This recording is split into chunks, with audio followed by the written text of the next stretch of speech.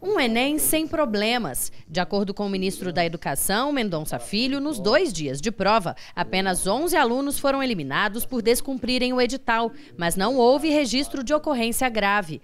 Para ele, a nova aplicação do exame representou o esforço de diálogo do governo federal com os estudantes. Nós não queríamos produzir uso de força para a desocupação e nós é, sempre valorizamos o diálogo como caminho e canal para a viabilização eh, da saída desse, desse impasse.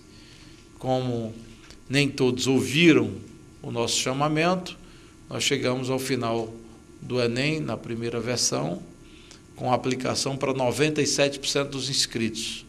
E remanesceram 3%, um total de pouco mais de 270 mil, e que nós conseguimos, nessa segunda aplicação, atender a demanda de todos aqueles que foram impedidos de submeter o Enem, tendo em vista os fatos relatados. Ao todo, o Enem teve cerca de 8 milhões e 600 mil inscritos. 6 milhões de candidatos compareceram às provas. Segundo o ministro Mendonça Filho, o governo está preocupado com as abstenções no exame e vai começar a discutir com a sociedade formas de aprimorar o Enem. Estimulei e demandei a direção do INEP que pudesse iniciar logo em janeiro consultas públicas ou consulta pública e debate público tendo como objetivo aprimoramento no, no exame para o próximo ano, 2017, e também para 2018.